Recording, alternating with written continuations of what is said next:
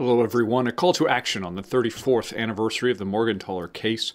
The first Ontario Bill C 4 office bearer training event took place last week, and finally, preaching on biblical sexuality Sermon Sunday. It's Wednesday, January 19th, and this is Quick Updates.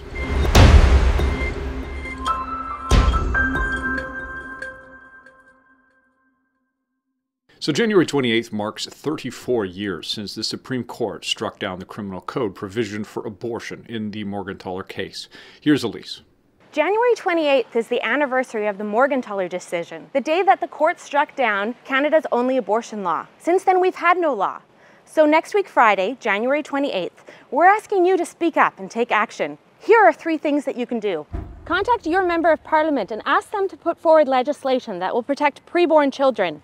We have postcards that you can use.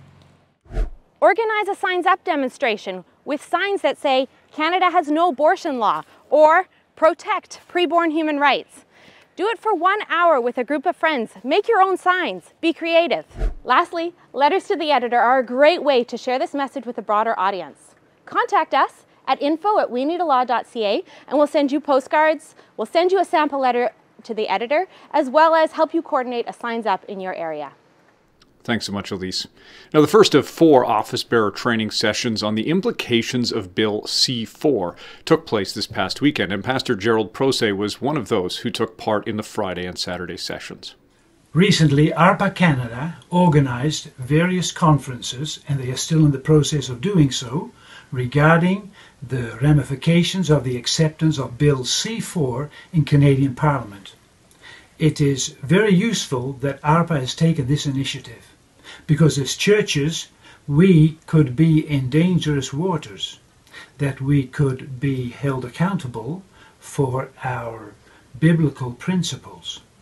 So it is very good to visit these conferences to see what the ramifications would be of this bill and how we as churches can protect ourselves and assure that we will have freedom and liberty of speech and that we can maintain our adherence to the uh, whole Word of God.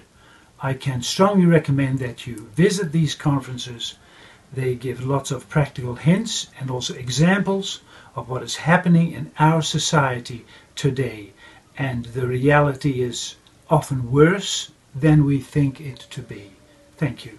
Thank you, Pastor Procee. If you'd like to attend one of the upcoming sessions, go to arpacanada.ca to sign up. Now, last week we talked about several initiatives being arranged across the country to respond to Bill C 4, which banned conversion therapy. We asked one pastor from British Columbia to share how he took part.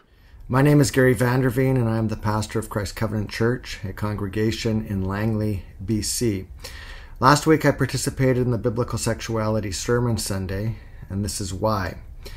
Marriage is a lifelong bond between one man and one woman, ordained by God for human flourishing. Since God created us as sexual beings and has provided marriage as the only place for sexual relations, we flourish sexually when we embrace marriage. I could put it this way God is against sexual relations outside of the bond of marriage because God is pro human flourishing, and we can only flourish when we embrace God's creation design. God's design is always best. I encourage pastors to teach on the Christian sexual ethic regularly because we all need to understand that God is in favor of sex, and so he has ordained marriage for our good. Thank you, Pastor Garry Vanderveen. Now, that's it for quick updates. Thanks to you for watching. Please do like, share, and subscribe, and we'll see you next week.